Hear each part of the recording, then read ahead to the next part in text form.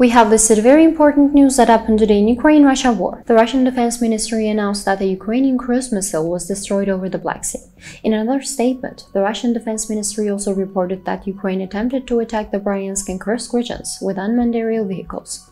Russia's investigative committee has confirmed that Wagner founder Yevgeny Prigozhin was among those killed when a private jet crashed in the Tver region. The Russian Defense Ministry announced that a US drone flying over the Black Sea had been driven away by air defense systems. Ukrainian President Volodymyr Zelensky said he will ask parliament next week to increase penalties for those found guilty of wartime corruption. A senior Ukrainian government official confirmed the safe passage of a second ship across the Black Sea from Ukrainian port of Odessa. Poland and Baltic states called on Belarusian President Alexander Lukashenko to expel the Wagner group of Russian mercenaries from his country. This call name as a response to the escalating tensions. In addition, the countries have agreed on a plan to close the border as a result of these tensions. Russian Foreign Ministry spokesperson Zaharova said that Turkish Foreign Minister Hakan Fidan and his Russian counterpart Lavrov will meet in the nearest future.